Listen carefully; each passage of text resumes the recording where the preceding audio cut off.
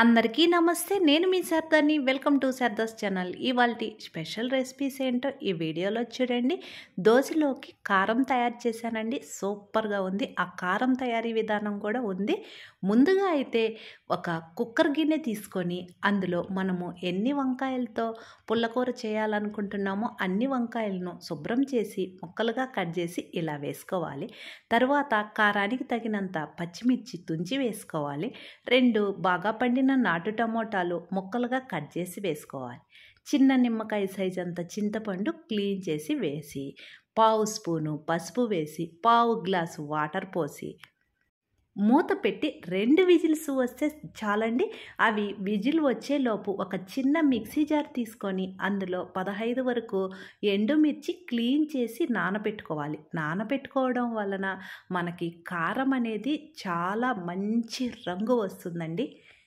తరువాత ఇందులో రెండు పెద్ద ఉల్లిపాయలను ముక్కలుగా కట్ చేసి వేసుకోవాలి.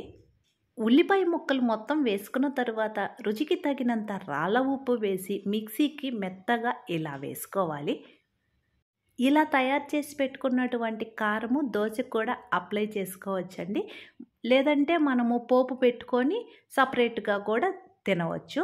పోపు కోసం ఒక చిన్న మూకుల్లో రెండు స్పూన్లు ఆయిల్ హీట్ అయిన తర్వాత ఒక్క స్పూను ఆవాలు ఒక్క స్పూను జీలకర్ర. చిటపటమన్న తర్వాత రెండు రెమ్మల కరివేపాకు వేసి చక్కగా వేగిన తర్వాత మనం ముందు మిక్సీకి వేసి పెట్టుకున్నటువంటి కారం ఉంది కదండి ఆ కారములో ఈ పోపును వేసుకోవాలి. ఆయిల్ అనేది బాగా హీట్గా ఉండాలండి అప్పుడే కారం అనేది పచ్చి వాసన లేకుండా మంచిగా వస్తుంది. ఇలా తయారు చేసి పెట్టుకున్నటువంటి కారము దోశల్లోకే కాదండి బోండాలు అట్లు అన్నిట్లోకి సూపర్గా ఉంటుంది. కారం పక్కన పెట్టిన తర్వాత ఒక అరకిలో పందిరి చిక్కుళ్ళు అంటారు కదండి. ఆ పందిరి చిక్కుళ్ళను శుభ్రం చేసి ముక్కలుగా కట్ చేసి ఒక కుక్కర్ గిన్నెలో వేసి పావు స్పూను పసుపు రుచికి తగినంత ఉప్పు వేసి పావు గ్లాసు వాటర్ పోసి రెండు విజిల్స్ వస్తే సరిపోతుందండి. ఎక్కువ విజిల్స్ వస్తే ముక్కలు మెత్తగా అయిపోతాయి. అందువలన మీకు ఒక డౌట్ రావచ్చండి. శారదా ఏందబ్బా ప్రతిదీ కుక్కర్లో పెట్టి వండుతుందని. కుక్కర్లో పెట్టుకోవడం వలన మనకి టైం సేవ్ అవుతుందండి. అందువలన అవి విజిల్ వచ్చేలోపు దోశ చక్కగా రౌండ్గా వేసుకుందాము. మనము మామూలుగా వంట చేసేటప్పుడు పాత్రల్లో అన్ని కూరగాయ ముక్కలు వేసి వాటర్ వేసి కూడా ఉడికించుకోవచ్చండి. అలా అయితే మనకి టైం ఎక్కువ పడుతుంది. మరియు గ్యాస్ కూడా వేస్ట్ అయిపోతుందండి. నేను చెప్పిన విధంగా చక్కగా కుక్కర్లో వేసి కొంచెం నీళ్ళు పోసి ఒక్క విజిల్ కానీ రెండు విజిల్స్ కానీ వస్తే మనకి త్వరగా మంచి రుచిగా ఉంటుంది కూర కూడా. ఇక్కడ ఎంతో కరకరలాడే దోశ రెడీగా ఉంది. దీనిని సర్వింగ్ ప్లేట్లోకి తీసేసుకుందాం ఇలా. నేనైతే ఉదయం ఒక గంటలోపు వంట టిఫిన్ టిఫిన్కి సంబంధించిన చట్నీ అన్నీ ఒక గంట లోపల అయిపోవాలండి.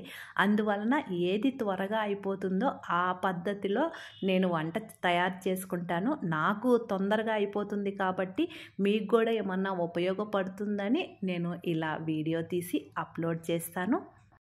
చక్కగా వేడి వేడి దోశలు మరియు ఇందాక మనం తయారు చేసుకున్నటువంటి కారం రెడీ. తరువాత అన్నం కోసము కుక్కర్ గిన్నెలో రెండు గ్లాసులు చక్కగా శుభ్రం చేసి రెండు గ్లాసులు బియ్యానికి నాలుగు గ్లాసులు వాటర్ పోసి మూత పెట్టి పావు గంట నానిన తర్వాత స్టవ్ మీద పెట్టుకుంటే సరిపోతుందండి.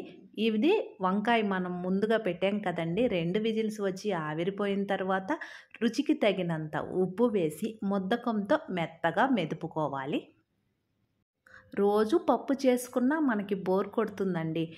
అప్పుడప్పుడు ఇలా పుల్లకూరల్లాగా చేసుకుంటే నోటికి కూడా కమ్మగా రుచిగా ఉంటుంది.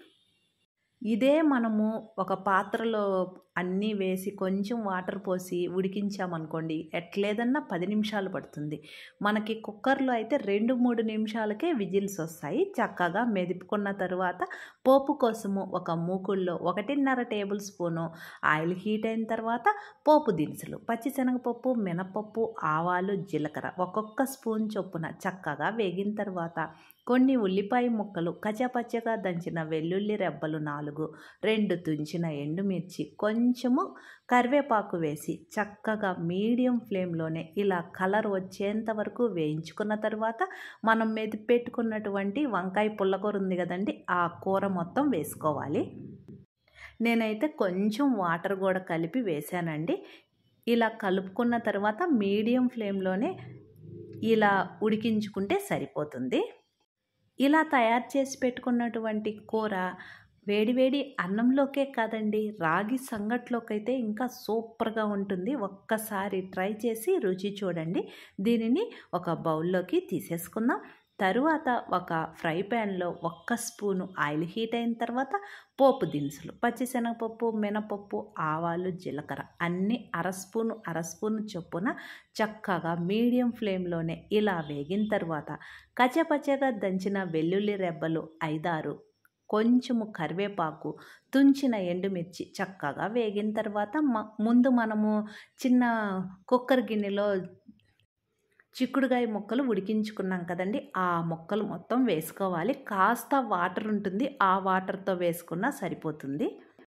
వాటర్ వంచేసి పడేయొద్దండి. వేస్ట్ చేయకూడదు. ఇలాగనే ముక్కల్లో ఉంచేస్తే అది కొంచెం సేపుడికి ఫ్రై అయిపోతుంది. ఇలా హై ఫ్లేమ్లో కలుపుకుంటూ రెండు మూడు నిమిషాలు వేయించుకున్న తర్వాత మనకి చక్కగా ఇది ఫ్రై అయింది. ఇందులో ఇప్పుడు మనము పప్పుల పొడి పప్పుల పొడి ఒక్కసారి తయారు చేసి పెట్టుకుంటే ఎప్పుడు కావాలంటే అప్పుడు ఎన్ని విధాలుగా ఉపయోగించుకోవచ్చో మన శారదాస్ ఛానల్లోని వీడియో ఉంది. చూడండి చక్కగా.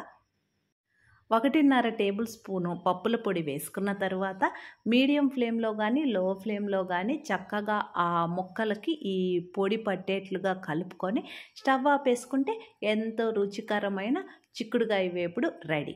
ఇలా తయారు చేసి పెట్టుకున్నటువంటి వేపుడు అలాగనే అన్నంలో కలుపుకొని తిన్నా సూపర్గా ఉంటుందండి. నేనైతే ఈరోజు పుల్లకూర చేశాను కదండి. అందులోకి నంచుకునే దానికి చాలా బాగుంటుంది. దీనిని ఒక సర్వింగ్ బౌల్లోకి తీసేసుకుందాం. ముందుగా అయితే నేను పాలు కాగబెట్టి ఒక గిన్నెలో పోసి దానికి చేమిరి వేసి పక్కన పెడతానండి. మధ్యాహ్నం మనం తినేసరికి అది చక్కగా పేరుకుంటుంది. ఇంకొక గిన్నెలో తయారు చేసినటువంటి పుల్ల పుల్లగా కారకారంగా ఎంతో కమ్మని వంకాయ పుల్లగూర. ఒక్కసారి నేను చెప్పిన విధంగా చేసి రుచి చూడండి. తరువాత చిక్కుడుగాయ వేపుడు. ఇంతేనండి. ఈరోజు ఇలా తక్కువ టైంలోనే సింపుల్గా వంట పూర్తి చేశాను. మీరు ఈరోజు ఏం వంట చేశారో నాకు కామెంట్ సెక్షన్లో తెలియచేయండి. ఫస్ట్ టైం మన శారదాస్ ఛానల్ చూస్తుంటే మర్చిపోకుండా సబ్స్క్రైబ్ చేసుకొని పక్కన బెల్లైకాల్లో ఆల్ ఆప్షన్ని ప్రెస్ చేయండి.